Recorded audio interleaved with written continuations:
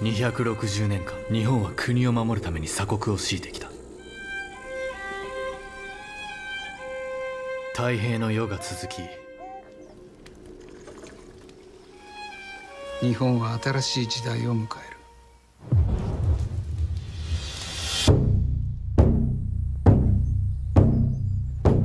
戦のなかった260年が本来強くあるべき侍を情けないものにしてしまった遠足を取り行う。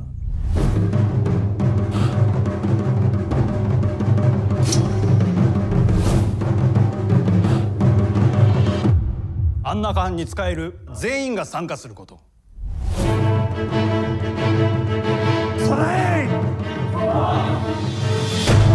走るのは十五里の山あり谷ありの険しき道走ろうこの遠足の勝者には望みを聞いてつかわす。何でも構わん。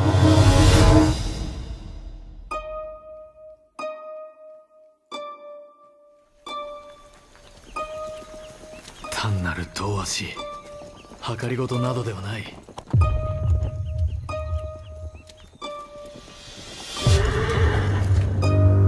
ならず者ごときに城を取られたとなればお取り潰しは間違いない。帰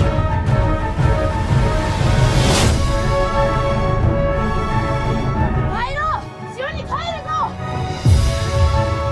我ら藩士は一時もせぬうちに帰ってくるわ。どんな時代の波が押し寄せてこようと一丸となって立ち向かっていけることであろう。日本は新しい時代を迎えた Thank you.